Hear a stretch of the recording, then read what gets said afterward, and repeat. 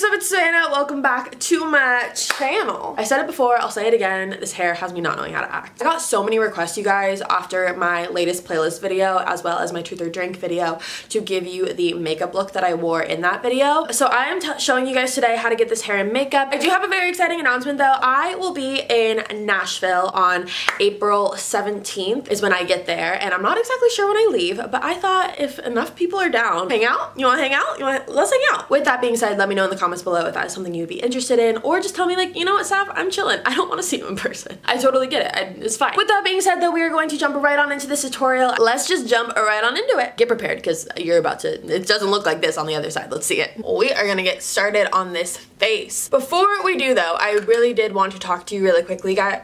Words, words you guys really, really liked my last Let's Talk About Anxiety video. I talked about CBD. I talked about my anxiety, my whole thoughts on anxiety and all that. If you have not seen that video, I will link it in the description box below. But because of your guys' response to that video, I wanted to show you guys more CBD products that I really, really love. I have just been on such a CBD kick lately because I think it's so important to find the products that work best for you. And I love these products. And so I want to show you these. And the company that I want to talk to you guys about today is Premium Jane CBD. Like I told you guys in my Let's Talk Anxiety video, CBD is something that's really, really helped me as far as calming down my anxiety and just calming my nerves. And it's a great way for me to unwind and relax without having to get high. Because as you guys know, that's not my thing. I've talked about that before. I can't do it. I just can't. There's something about it. I get paranoid. It's just not good. It's not good for my well-being. Premium Jane CBD, I will have all of their links in the description box below. So these right here are the gummies and they came with 30 little like capsules. These you guys taste so good. They literally taste like candy. I'll show you guys what they look like. This is what they look like if you guys were wondering. They literally look like sour gummy bears. And I will usually take two of these. As you can tell by the bottle, I am running low because I love them so much. And I really do lean on CBD to help support my anxiety. Also, they have the Premium Jane CBD oil. So you would just pour this into your drink or you can just like put it under your tongue, whatever you want. This says take once or twice daily, place half of the dropper under your tongue, wait 60 to 90 seconds and then swallow. I found that you could do that, but I also found you could put it in like water or whatever drink you're doing if you don't want to like directly put it under your tongue. But I will say I found it more quickly effective when doing it the way that they said it. So I definitely recommend if you are interested and in the market for trying out some new CBD products to check out Premium Jane. I have loved their products. You guys, I'm like no joke. And I've talked about this in my anxiety video. I would never turn you guys on to something that I fully wholeheartedly did not believe in, especially when it comes to your mental health, especially when it comes to your sanity and state of mind. I don't joke around with that. I don't play like that. So when I say I have been loving these products, I have been loving these products, point blank. And I would never turn you guys on to something without giving you a discount code. You know me, come on. And if you use the code Savannah on Premium Jane's website, you will get 20% off all CBD products, which is amazing. So definitely, definitely, definitely go check them out. I definitely recommend them. I really love them and I definitely think you will too. With that being said, let's fix my face. the first thing that I'm doing is taking my Benefit POREfessional Primer. This is my favorite primer. I use it literally all the time. And mind you, I just got out of the shower, so my hair is like a mess. Obviously, it's ob obvious. I don't even have to say that. I put that all over my face and I've already moisturized my face, so there's that too. I moisturized it right after I got out of the shower. I don't know if this actually works, but I've seen people do it and that's the main reason that I put it on my face. I don't know if I really see a difference. But because we're going like all out for this one, I'm going to use it and that is the MAC Strobe Cream. And I'm pretty sure what this is supposed to do is like add a layer of like glowiness and like not sparkliness, but just like glowiness to your face. You're getting a makeup tutorial from a not professional makeup person. Wrong video. So I take that with my hands again and I rub that all over my face. I also like this because it's really moisturizing. I also feel like I'm supposed to be putting it on underneath my primer, but I don't know. So I just haven't been doing that. now we are moving on to foundation. And because we're doing like an Instagram look today, I am going to be using my more high-end foundation, but I am going to give you a dupe for it. So I use, I literally have like three bottles of this because I don't know which one is empty and which one is full. I use the YSL All Hours foundation. This is my all-time favorite foundation. I think it gives you like really, really, really good coverage, but it also makes you look natural and I just, I love it. I fuck with it. I am in the shade BR50. It's Cool Honey, but then I also sometimes mix it with BR40, which is Cool Sand. A drugstore dupe for this, I promise you, is any of the Maybelline Fit Me foundations. I have mixed this with those. I have used the Maybelline instead of this and it still looks just as good. So if you want a drugstore dupe, that is it. And Maybelline also has like the Dewy and Smooth and the Matte and Poreless of that foundation. So you can really choose based on your skin type. Maybelline should be sponsoring me because I'm literally talking about them instead of YSL. My back is hurting like a bitch. The thing I probably should have done is put my hair back. So we're just gonna, so I am just taking this on my beauty blender and my beauty blender is from Morphe. I got it for like $5 at Ulta. It was on sale, I'm pretty sure. Who the fuck wants to pay $20 for a beauty blender? It's a sponge. Like, I'm sorry, who are you? I just think it looks really good. And then you definitely want to put it on your neck because because we do not have time for your neck and your face looking two completely different colors. Not today. I'm taking my Maybelline Instant Age Rewind Concealer. I am going along the side of my nose and this is the one thing that I wish this concealer did have was like a smaller top thing because this just looks really messy but it'll be fine.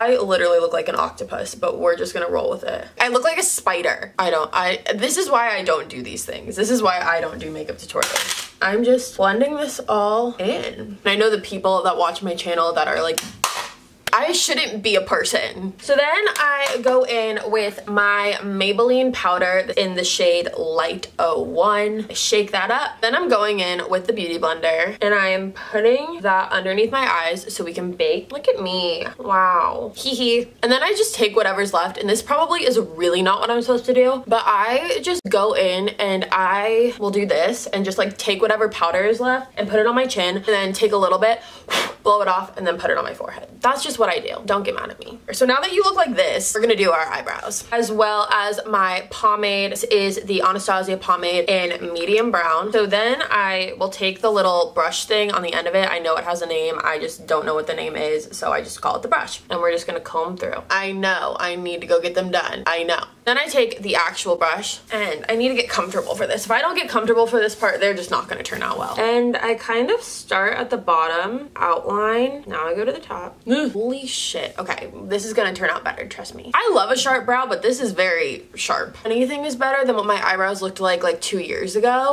Oh, we'll just see what happens once the other one's done. Okay, so now that our eyebrows are like second cousins, I would say, we are gonna go on to eyes. Okay, so I am taking this brown eyeliner. This is just the Thrive Cosmetic eyeliner. It's just in the shade brown. Look at that focus. You're doing amazing, sweetie. And basically what I'm doing, I know uh, this bothered everyone in my last video, how I was like lightly pulling, I like, but like, I don't know how else to do this. So I line my tight line with brown eyeliner, basically is what I do, like so. Then I am taking this Morphe M124 brush and it just looks like that. You're doing so amazing. Why aren't you doing amazing anymore? This is what it looks like. It's basically just a flat brush. And I take my Morphe setting spray and I just and then I am taking this Huda Beauty Topaz Obsessions palette. This is such a pretty palette. Oh my goodness. And I am just taking this gold color right here and I am just putting that on my lid. Let me zoom you in a little bit so you can get a better look at what we're doing here. After that, we are going to go in with this Morphe palette. This is the Morphe Bronzed Babe palette 9B. Um, this is also a really good dupe for the Huda Beauty palette. It just like has all these bronze colors And then I'm taking my Morphe M321 brush. It just looks like this. And I'm going in with the color, was it I think it was Beach Please, right? Or no, I think it was Road Trip that I did. It's this color right here. And then I'm just taking this and I'm just going to be placing this literally like just in like this, okay, I'll show you. It's just like in this outer corner crease area. I'm not bringing anything up. I'm not doing any of that. I'm just like outlining the crease area with this. And then I'm just kind of trying to blend that out. I like that. I know it's not perfect, but I, like I said, have such small eyelids that you're really not gonna see it. If you have really big eyelids, then like maybe that's something you wanna blend out a little better. Now, as I was saying about the false eyelashes, these are a life changer and a game changer. I am using the Glamour multi-pack. Well, this is just a multi-pack. You can get them however you want. Of the Ardell lashes. This is what they look like. I have been obsessed with them ever since about last week. So I'm going to show you how I use them. So I just put the glue and I am just putting it on the container. Take a pair of scissors like this. I bet you thought that I meant like little beauty like scissors, but no, I mean like fucking staple scissors. I like to do it like two and a half in and I'm just taking the back of a bobby pin, looks like that and I am dipping that in the glue and I'm putting that on the lash. Then I just close my eye and that's what the lashes look like. I really like them. So this one is definitely, I think, better because it's closer to the eyelash. And so what I do at this point is I take the Beauty Blender while the other one is drying and I just stop baking my face because we probably overcooked it. So then I am going in with mascara. Everyone says that you want to like blend the lashes with your natural lashes.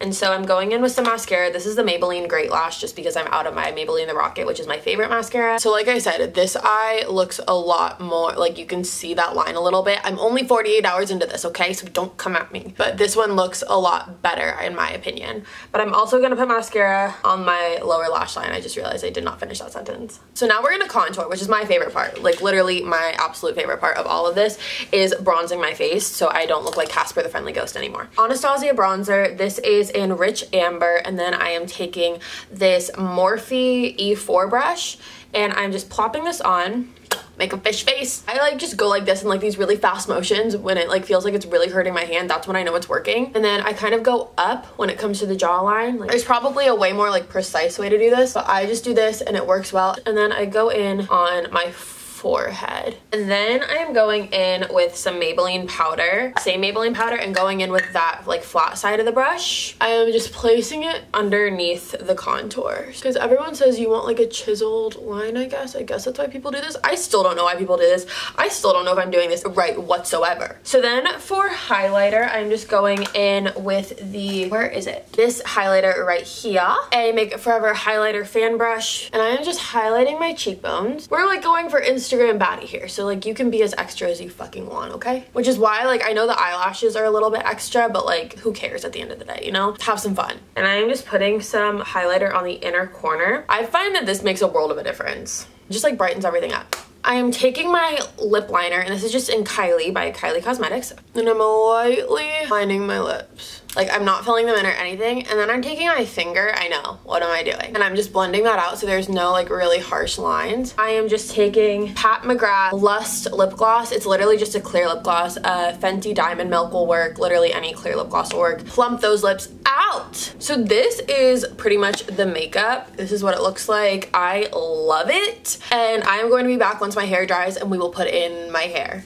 catch on the flip side. Okay guys, so now I'm gonna show you how I do my hair. My hair is still a little bit damp and I straightened it while it was a little bit damp. It's like the worst thing you could ever do for your hair, by the way, but hello. Real quick, I forgot to say that when I did my makeup, I sprayed it with the Morphe setting spray is how I finished it and I'm going to do it one more time because I do the most. So I just take like a small black hair tie. I don't like using like the big ones just because I don't want it to show. And we are doing a slick high ponytail today, friends. Is I flip my hair over. I go super high with this because I want it to be like super extra. Probably like right there. So then it looks like this, which is like cute for a toddler, but I'm not trying to rock this. And then I take my handy dandy extension. And then this is where the magic happens, you guys. So this is an extension that I got about a year ago and I just pulled it out of my drawer last week because I was always very scared of this. And as you can tell, it matches this hair color pretty well. My roots are obviously darker but I decided the other day, I was like, you know what?